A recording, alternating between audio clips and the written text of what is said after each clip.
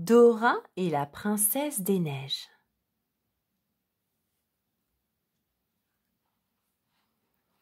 Hello Aujourd'hui, je vais lire une histoire à tous mes amis. Aimes-tu les histoires? Nous, on adore. Babouche, Tico, Totor et Vera ont envie d'écouter l'histoire d'une princesse des neiges, d'une sorcière et d'un flocon magique. Vois-tu une histoire comme ça?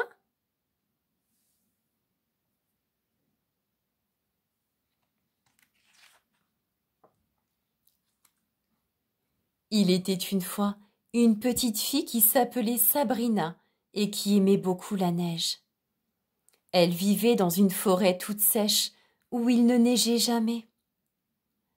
Un jour, alors qu'elle se promenait, elle vit une petite colombe blanche qui pleurait perché dans un arbre. Qu'y a-t-il demanda Sabrina à la colombe. J'ai été capturée par la sorcière, expliqua la colombe en montrant sa patte emprisonnée. Mais personne ne veut me délivrer parce que tout le monde a très peur d'elle. Moi, je vais te délivrer, s'écria Sabrina, et elle l'aida à se libérer du piège.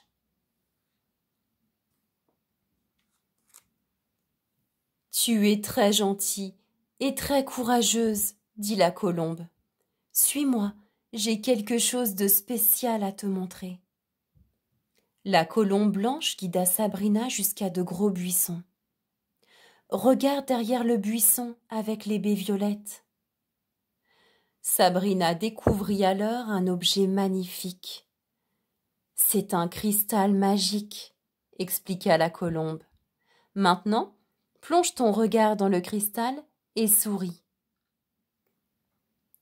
Au moment où Sabrina plongea son regard dans le cristal et sourit, la magie opéra.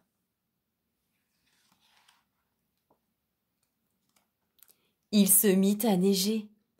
Puis Sabrina se transforma en princesse des neiges et la colombe en flocon magique. Moi, une princesse s'étonna Sabrina. Oui, la forêt enneigée était ensorcelée par la méchante sorcière. Mais grâce à ton courage et ta bonté, tous les animaux sont libres, répondit Flocon magique.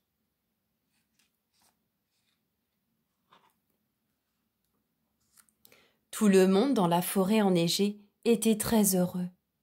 Mais un beau jour, la princesse des neiges vit la sorcière voler dans le ciel. La sorcière arracha le cristal des mains de la princesse des neiges. Elle regarda le cristal et fit une vilaine grimace pour arrêter la neige de tomber. Puis elle enferma la princesse des neiges dans la haute tour. Maintenant, il ne neigera plus jamais. s'écria la sorcière avant de s'envoler. Tous les animaux et flocons magiques s'aperçurent que la neige avait commencé à fondre. Les animaux cherchèrent la princesse des neiges, mais ne purent la retrouver. Ils demandèrent alors à Flocon Magique de la chercher. Flocon Magique savait qu'il ne lui restait que très peu de temps avant que tout ait fondu. Regarde, Flocon Magique sort de l'histoire en volant. Il croit que je suis la princesse des neiges. Hello, flocon magique. Je ne suis pas la princesse des neiges, mais nous pouvons t'aider à la retrouver parce que nous savons où elle est. Sautons dans le livre et aidons Flocon magique à la retrouver. Es-tu prêt à sauter avec nous? Saute, saute, saute. Maintenant, en route pour la tour. À qui faisons-nous appel lorsque nous ne savons pas quel chemin prendre? À la carte, bien sûr. La carte dit que nous devons franchir l'océan de glace, dépasser les collines de neige et traverser la grotte.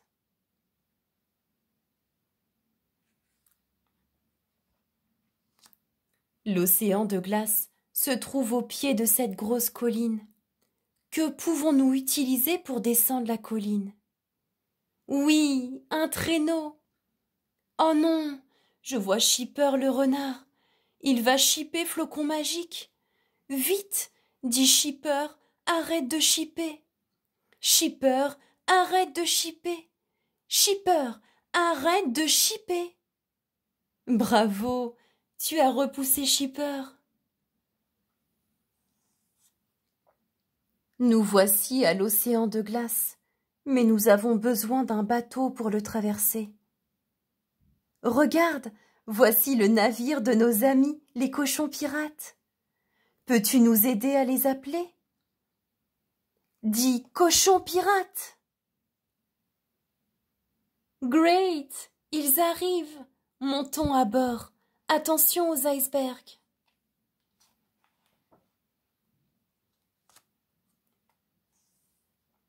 Regarde, l'iceberg n'est pas un véritable iceberg, mais un serpent de mer qui vient droit sur nous. C'est encore un sort de la sorcière. Heureusement, les cochons pirates savent comment faire peur aux serpents de mer.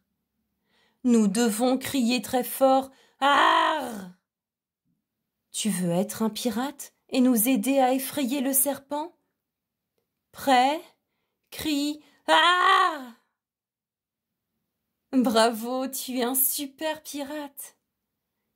Les cochons pirates nous ont fait traverser l'océan et nous sommes arrivés aux collines de neige. Oh oh Babouche trouve que la colline de neige bouge. Oh, mais ce n'est pas une colline de neige. La sorcière a transformé la colline en ours polaire. L'ours polaire a-t-il l'air heureux ou en colère? En colère Vite, fuyons Regarde, voici une fillette qui conduit un traîneau. Elle s'appelle Page. Chouette, Page nous aide à nous éloigner de l'ours polaire et nous propose de nous emmener à la grotte. Les chiens de Page courent très vite. Pour contourner les collines, nous devons nous pencher. Peux-tu te pencher vers la gauche? Great Maintenant, penche-toi vers la droite. Super, nous sommes arrivés à la grotte.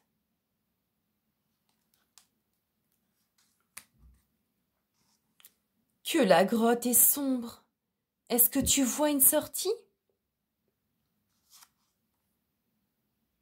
Oui, là-haut, grimpons vers la sortie. Maintenant, nous voyons la tour et la princesse des neiges. Mais nous devons d'abord descendre le pont-levis. Flocon magique essaie d'atteindre la manette, mais comme il a presque fondu, il peut à peine voler. Il risque de tomber dans les douves remplies de crocodiles. Vite, aidons Flocon magique à voler. Bas des ailes. Flap, flap, flap. Tu as aidé Flocon magique. Bien joué.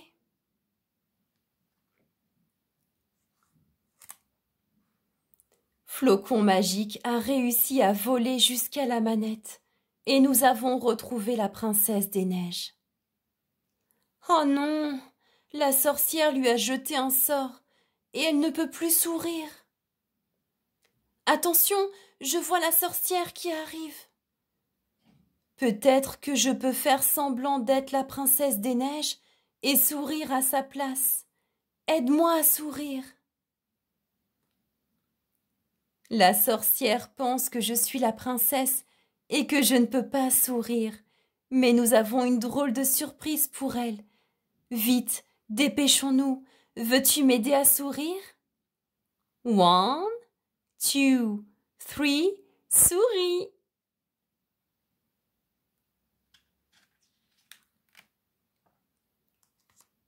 Oui, dites. Nos sourires ont ramené la neige et la sorcière a perdu ses pouvoirs pour toujours. Maintenant, la forêt enneigée est sauvée. Flocon magique nous a tous habillés en princes et princesses. Tu sais, Tout le monde peut être prince ou princesse.